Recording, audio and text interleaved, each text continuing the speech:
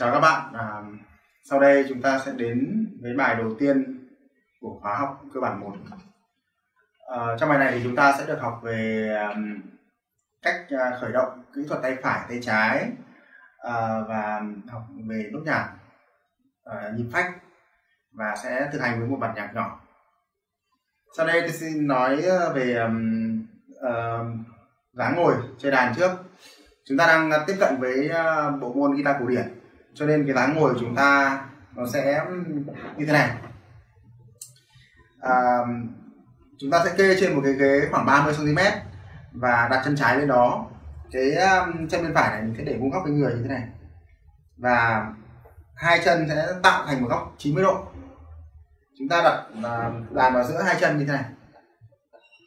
Và nhớ là cái đàn ấy thì là nó sẽ hơi hơi hướng ra phía đằng kia một chút để cho nó tạo ra một sự chắc chắn. Nếu như chúng ta để như này thì cái đàn nó sẽ dễ bị trượt xuống. Và chúng ta sẽ có thể nhìn được dễ dàng hơn cái phim của phím của mình. À, có thể để đàn đàn cao như thế này cũng được mà để đàn thấp như này cũng được. Nhưng cái quan trọng là cái khỉu tay khi mà chúng ta đặt vào nó phải thật là chắc chắn. Nó không bị trượt xuống như này không bị cao quá như này. Và làm sao cái vai mình thật thoải mái. Bởi vì chiều cao của mỗi người một khác nhau cho nên là chúng ta sẽ phải à, không bị máy móc cái chuyện này. Miễn sao là ngồi đấy thoải mái mà không bị so vai là được. À, tiếp theo là, là bàn tay phải. Cái bàn tay phải này à, rất quan trọng khi chơi đàn và nó điều khiển tay trái cho nên chúng ta cần phải khởi động rất là kỹ. Có nhiều cách khởi động thì bây giờ tôi sẽ nói về cái cách cơ bản nhất và các bạn sẽ tập luyện hàng ngày. À, trong đàn guitar thì có 6 dây. Dây dưới cùng là dây số 1 dây trên cùng là dây số 6 thì cái ngón cái của chúng ta cái cạnh ngón cái này này chúng ta sẽ đặt nhẹ ở dây số 5 ngón trỏ để ở dây số 3 ngón giữa để dây số 2 và ngón nhẫn để dây số 1 à, nếu mà để ý, kỹ hơn một chút thì là chúng ta sẽ nhớ luôn này. Ngón cái là P này ngón trỏ là Y ngón giữa là M và ngón nhẫn là A. Đó chúng ta đặt như thế này thì cái ngón cái của chúng ta sẽ không nằm ở sâu vào đây mà chúng ta sẽ kéo nó ra ngoài thế này. Ba ngón còn lại chúng ta khép thật chặt. Chúng ta khép thật chặt như thế này. Ngón cái mở ra. Đó. Cái cổ tay của chúng ta nhé sẽ không bẹt xuống như này mà chúng ta sẽ để thẳng bình thường. Không cao quá mà cũng không nói chung là chúng ta đặt tay vào như nào thì nó sẽ đúng như thế nhưng không để bẹt xuống như này. Bây giờ tôi sẽ um, khởi động trước con cái ngón cái của chúng ta sẽ gảy bằng cái mép và thẳng xuống nhưng không chạm dây sau.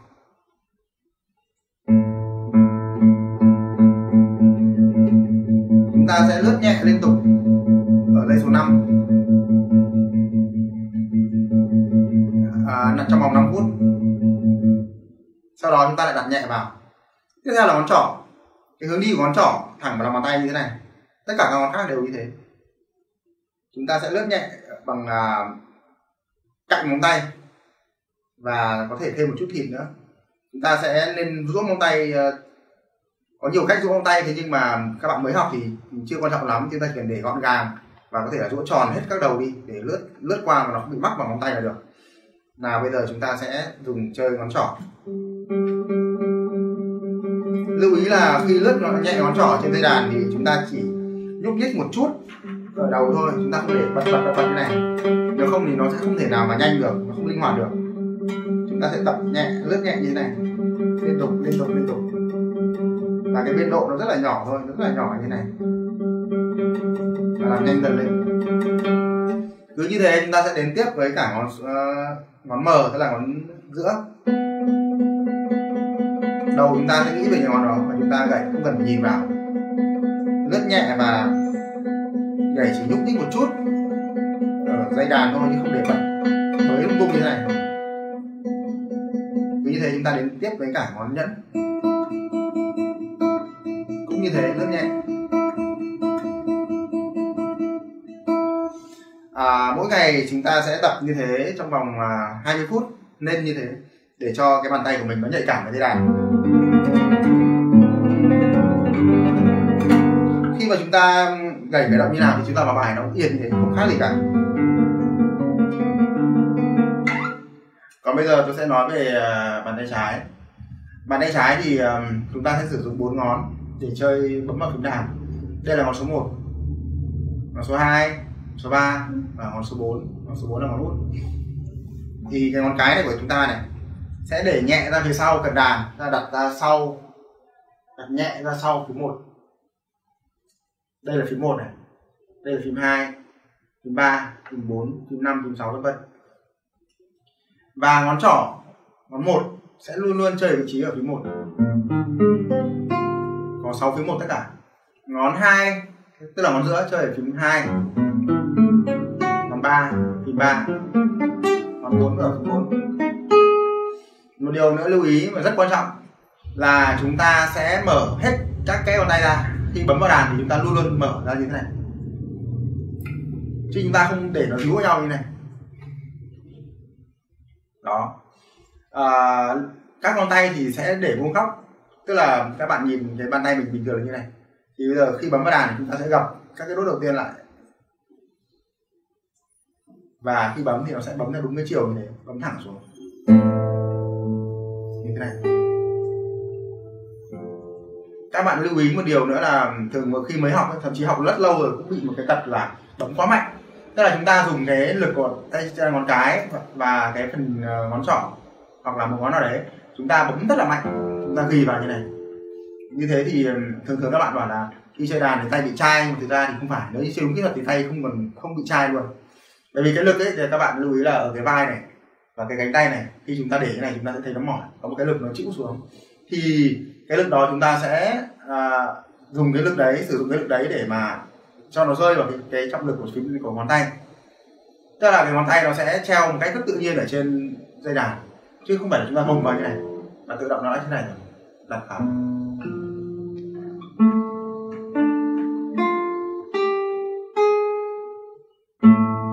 vì cái này là một kỹ thuật khá là chuyên nghiệp và nó cũng là một kỹ thuật rất là hiện đại cho nên là chúng ta chưa cần phải phải nghĩ đến nó quá nhiều.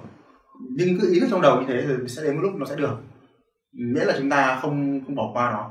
Tức là làm sao để bấm vào đàn nó phải thật là nhẹ nó không bị uh, mệt mỏi. Và để khởi động bàn tay trái thì chúng ta sẽ làm như thế này. Tay phải thậm chí không cần cứ để nguyên như thế khởi động xong để nguyên và chúng ta sẽ làm từng từng từng ngón một như thế này. Chúng ta bấm nhẹ vào dây 6 thứ một đây là dây 6 này đây là thứ một này ta bấm nhẹ xuống. Khi chúng ta cảm thấy là ừ, chúng ta đã bấm hết rồi và có thể gảy thì nó sẽ phát âm thanh thì chúng ta không cần gảy mà chúng ta cứ giữ nguyên như thế. Sau đó chuyển sang tiếp ngón số 2 chúng ta cũng làm như thế, nhấc ngón một ra và đặt ngón số 2 xuống như thế này. Tiếp tục là ngón số 3 và đến ngón số 4 chúng ta sẽ cảm thấy cái trọng lực nó dồn về cái ngón mà mình đang bấm, giống như là chúng ta đang đứng một chân thì cái chân còn lại nó sẽ thả lỏng và cái cái chân bên kia thì nó đang giữ toàn bộ lực của cơ thể. Thì cái ngón tay nó cũng thế, ví dụ ngón một, bấm vào như này. Chúng ta cảm thấy cái lực nó dồn về ngón một và các ngón khác hoàn toàn thả lỏng để có thể tiếp tục vị trí, tiếp tục cái công việc của nó. Tiếp theo, chúng ta phải nên nhớ lưu ý nói lại này là chúng ta sẽ mở hết ngón tay ra. Tiếp theo là ngón hai, rồi ngón ba, lại treo nó ở đây, ngón bốn, ngón năm, ngón một, ngón hai ba, ngón bốn, tiếp tục, một, hai ba, bốn, một, hai, ba, bốn, một, hai, ba. Sau đó chúng ta thể làm ngược lại. Một, hai à bốn, ba, hai, một, bốn, ba, hai, một. Chúng ta làm nhiều lần như thế và có thể thậm chí là dùng ngón tay để bắt vậy hay kết hợp hai tay luôn.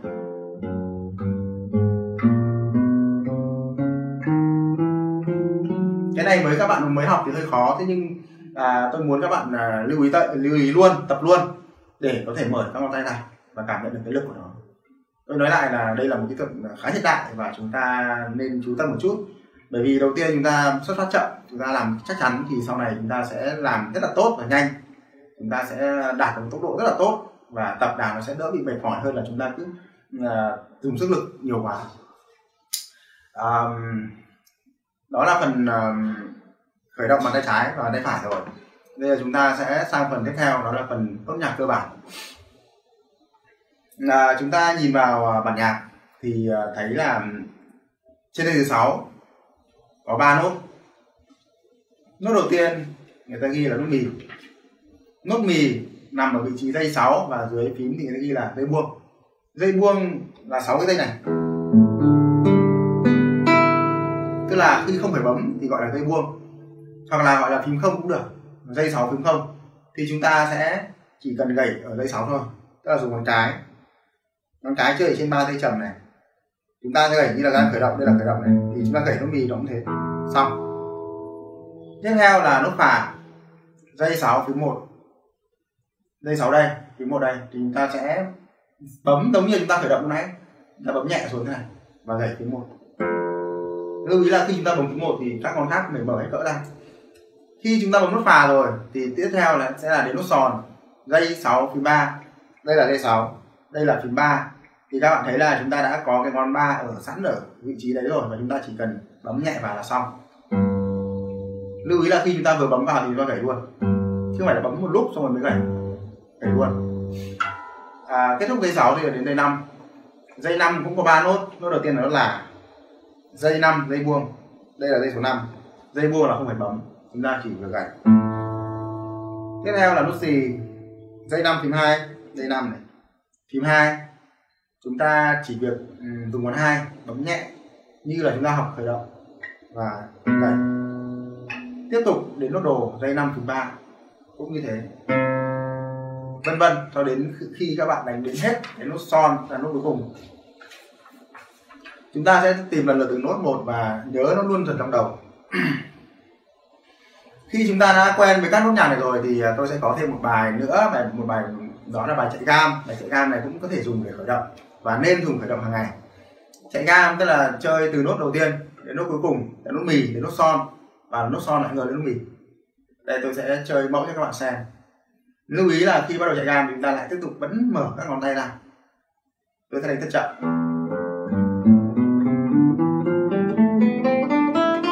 Đến nốt son chúng ta quay ngược trở về. Đánh chậm thôi, sau này có thể đánh nhanh được.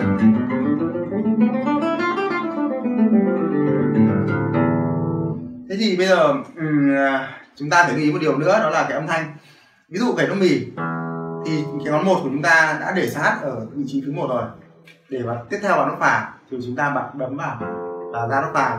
Khi ra nốt phà thì các bạn nhớ là hãy giữ thật lâu cái ngón này, chứ đừng nhấc ra vội. Để chúng ta chuẩn bị tiếp vào nốt son và liền tiếp vào nốt son luôn.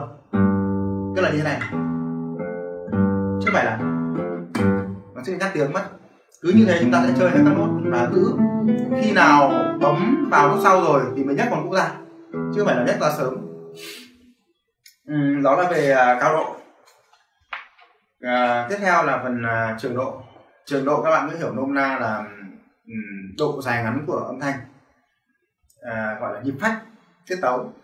À, thì um, ví dụ như là nghe bài hát thì chúng ta sẽ cảm thấy có cái nhịp điệu của nó. Ví dụ như là cái nhịp điệu thì chúng ta hiểu là chúng ta có thể tạo ra bằng cái vỗ tay.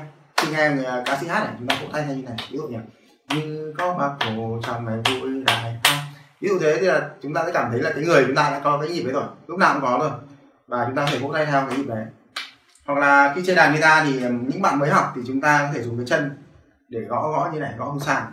Dùng mũi bàn chân để gõ xuống sàn à, khi mà chơi đã quen rồi thì chúng ta sẽ cảm thấy nó bằng cơ thể luôn và không không cần thiết phải vỗ phải đạp chân nữa.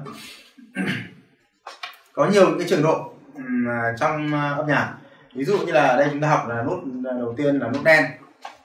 Nốt đen các thầy bạn thấy là có trường độ là một phách. Một phách tương đương với một đập chân. Bây giờ tôi sẽ chơi mẫu nhé. Một đập chân thì chúng ta tưởng tượng là chúng ta gật đầu như này. À, tôi sẽ chơi mẫu một số nốt đen này.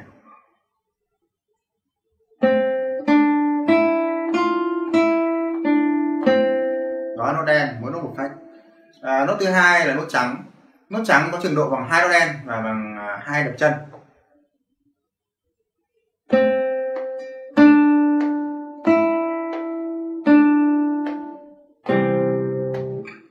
Nốt à, thứ ba là nốt tròn.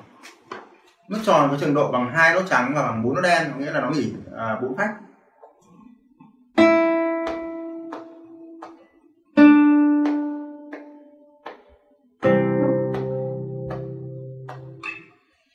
À, khi chơi đàn thì chúng ta sẽ phải giữ cái nhịp cái nhịp phải có. Nếu mà không có nhịp thì giống như là một cái người mà không có um, xương sống có vấn đề ấy, thì là nó sẽ trông nó sẽ không nó sẽ rất là lỏng lẻo. Âm nhạc mà không có nhịp thì nghe nó cũng lỏng lẻo và nó nghe nó không có bố cục mà nó rất là là nghe nó trông tranh khó chịu. Thì tôi sẽ nói kỹ hơn về những cái một số những cái nhịp điệu hay là tiết tấu ở những bài sau. Còn bây giờ chúng ta sẽ đến với một bài ờ, à, để mà chúng ta áp dụng tất cả những gì chúng ta được học xong. Đó là bài à, con chim non của lý trọng. Trong cái bài này thì các bạn thấy là đầu ở đầu thì người ta ghi là 24 cái số 24 đấy gọi là nhịp nhịp 24 nhịp 24 chúng ta hiểu rằng là trong một ô nhịp thì số 2 ở trên ấy, tức là một cái ô nhịp một cái ô nhịp các bạn thấy là có cái kẻ nhịp đấy. Thì um, một ô nhịp nó sẽ có hai phách số 2 đó là là cái số lượng phách trong một ô nhịp à, cụ thể ở đây các bạn thấy là có hai nốt đen trong cái ô nhịp đấy. Còn số 4 ở dưới là chính là cái trường độ của nốt tròn. Nốt tròn chính là cái cái nốt mà chúng ta vừa học xong tức là nó có bốn phách. Như vậy à, trong cái bài này chúng ta sẽ hiểu là nhịp 24 có nghĩa là ô nhịp có hai phách và à, cái số 4 ở dưới là tính theo nốt tròn. Như vậy nốt tròn bốn phách thì nốt đen nó đương nhiên nó sẽ là một phách bởi vì nốt tròn bằng bốn nốt đen. Cái nốt đầu tiên các bạn thấy là nốt, nốt, nốt đen tức là nó là một phách thì bây giờ chúng ta sẽ tìm tiếp xem cao độ là nó gì. Thì chúng ta sẽ thấy là cái vị trí của quả trứng ấy cái quả trứng tròn tròn đấy nó nằm ở ở um, giữa dòng kẻ thứ ba và thứ tư. Cái dòng kẻ thứ nhất là dòng kẻ cuối cùng. Thì chúng ta sẽ thấy nó giống với cả vị trí của nốt đô. Nốt đô là nằm ở vị trí là dây hai phím một. Như vậy chúng ta sẽ có nốt đô dây hai phím một. Chúng ta sẽ bấm vào nốt đô. À, và chúng ta đập chân. Tôi sẽ bắt nhịp cái nốt đô như thế này nốt đô đầu tiên là một phách hai, ba. Nốt đô thứ hai cũng như thế. Cũng một phách. Hai, ba. Nốt đô thứ ba ở ô nhịp sau là nốt trắng, cho nên nó là hai phách. Tôi sẽ bắt nhịp thế này. Hai, ba. Và bây giờ chúng ta sẽ kết hợp cả ba nốt lại là như thế này. Hai, ba. Cũng giống như chúng ta hát thôi đô đô đô nghỉ. Tức là chúng ta chỉ gảy ba lần và chúng ta đập chân bốn lần vì là cái nốt thứ ba là nốt trắng. Nốt thứ tư thì chúng ta thấy nó là nốt son rồi. Vị trí của nó là nằm giữa dòng chảy thứ hai. Như vậy nó là nốt son dây ba buông chúng ta cũng thế. Son. Nốt thứ năm là nốt mì. Chúng ta sẽ thấy là vị trí là dây bốn phím hai và nốt đen. Thì chúng ta sẽ để ngón cái sẵn ở dây số 4 khi bắt đầu chơi bài chơi đàn. Để ở đây. Và chúng ta bấm vào mi và nốt thứ sáu là nốt lại là nốt son. Son hai vạch bây giờ tôi sẽ chơi mẫu cả cái bài này để cho các bạn thấy um, các bạn thấy cái bài này. Ờ, lưu ý là chúng ta, khi tôi đang chơi này thì các bạn nên gật gù hoặc là nên đập chân theo để chúng ta cảm nhận, cảm giác về cái nhịp.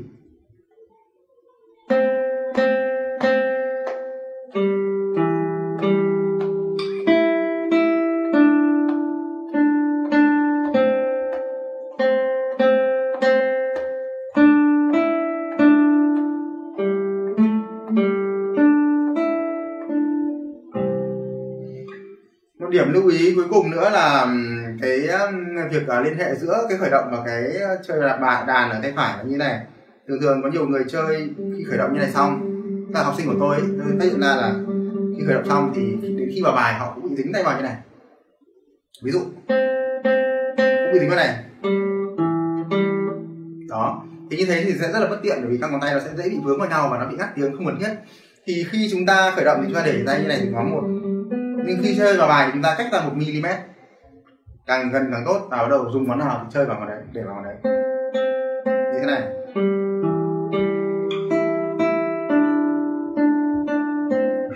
À, đó là những vấn đề của à một điều nữa. Một cái cuối cùng đó là cái à, bàn tay. Hai bàn tay phải luôn nhớ phải thả lỏng. Cực kỳ thả lỏng. Thậm chí là khi chúng ta cảm thấy tay chưa thả lỏng chúng ta chưa cần phải bấm vào đàn làm gì cả cứ để ở ngoài để cho đến khi nó đã quen với thả lỏng thì bắt đầu chúng ta mới dùng. Đó là vấn đề của bài một. Chúc các bạn thành công.